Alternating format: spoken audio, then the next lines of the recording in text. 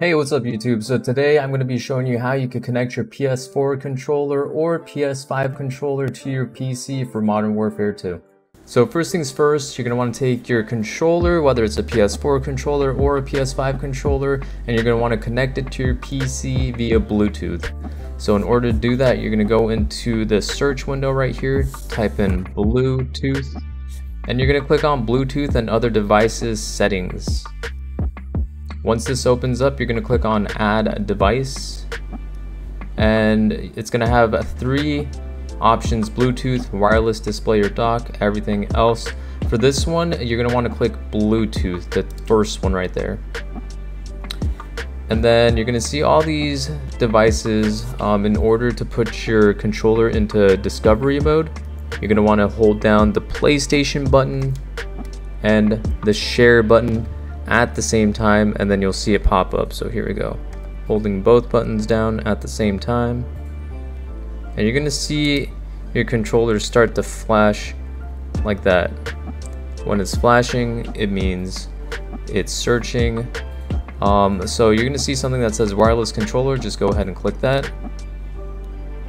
And once it's synced or once it's paired, this light will turn solid.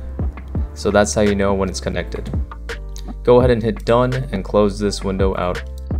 Next, what you're going to want to do is click on the link down below. This is going to be the download link for the software. You're going to want to install and run the software called DS4.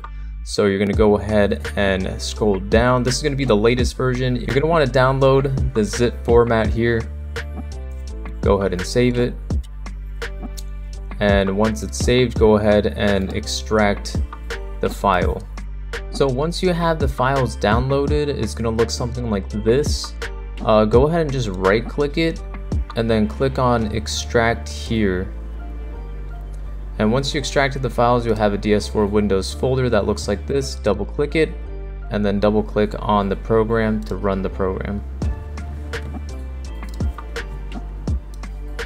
So this is what my program looks like. Um, it's already set up to PS4 but I'll go to default. Once everything's connected, um, even wirelessly, your controller should be recognized by the software. So at this point, you could go ahead and fire up Modern Warfare 2 or Warzone 2 and everything will work as is. Um, another option you can do is selecting a profile. In order to select or create a profile, go ahead and hit this profile tab you're going to click on new. It's going to ask you, do you want to use a preset option? Choosing no will cause the profile editor to use empty gamepad profile. Just hit yes. And this is going to apply uh, some settings, some presets. This one says gamepad. Choose your output controller to DualShock 4 and hit apply. And these are going to be all your default settings here. Go ahead and name your profile whatever you want. I'll just name it PS4. Or you know what, we'll name it PS5 just in case you had a PS5 controller. And don't forget, under touchpad, be sure you click on the touchpad tab right here, which is gonna be this right here.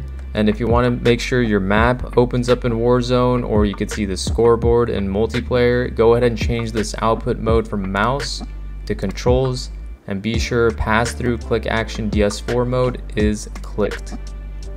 Other than that, you could change the colors of the light that you have on your controller, but I'm gonna leave it as is. Don't forget, hit save. In order to activate that specific profile, be sure you go back to your controller tab right here, and then under selected profile, change this from default to PS5 or whatever profile you named. As long as this is running and doesn't say start on it, you are good to go. If it says start, you're going to need to click start in order for this profile to work. For example, I'll hit stop. Now it's disconnected. Hit start. Now it's connected. All you need to do is hit the X button. All you need to do after this is just minimize it and it's going to hide down in this little startup menu section. And that's going to be it. This was a short and sweet tutorial on how to connect your controller to your PC for Warzone 2. I hope it helped. If it did, be sure you leave a thumbs up. Be sure you subscribe to the channel for more content, and we'll see you guys on the next one. Peace.